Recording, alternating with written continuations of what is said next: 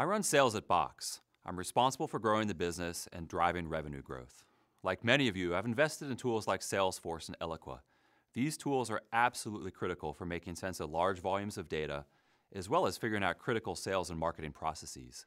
But automation's not enough. I need growth. I need 10x. So I got to thinking there's years of valuable information in our automation systems about who our best customers are. And there's tons of information online about potential customers. We've got to take advantage of this. I mean, we're in the era of Google and Facebook. Where's our 10x? We need that breakthrough.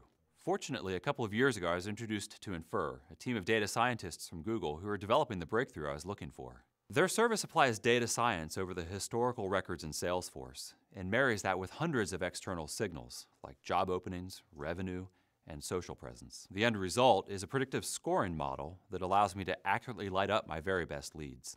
We use Infer to score leads. With them, we've been able to double our opportunity creation rate on our largest pools of leads.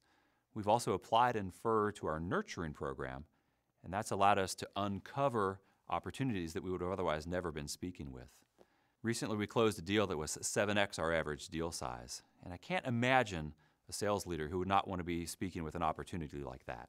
So we get a double win. We get to point reps to the best leads, and we get to unlock deals that would have never made it to us out of nurture. Integration was a breeze. Infer drops into Salesforce and Eloqua with no training required, no on-premise hardware or software, and no data integration hell. Infer actually solves a very complicated set of data challenges with consumer-level simplicity. I'm responsible for growing revenue at Box. It's called Silicon Valley Hypergrowth, which is what I'm trying to broker. I really feel like every sales executive who wants to broker similar sorts of growth needs to be looking at Infer.